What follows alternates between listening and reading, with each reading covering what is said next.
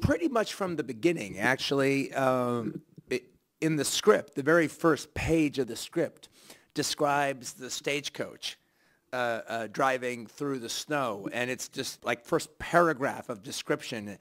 Uh, I, I'm describing the stagecoach going through the snow, and it says filmed in glorious 70 millimeter. And I think I mentioned it one more time on the first page, and another time on the second page, and another time on the third page, and then I bring it up like every you know uh, uh, uh, four pages or so after that, and then I I stopped around page 20. But the point was to really get it across to the people who are going to make the movie. We are doing this in 70, or don't even talk to me.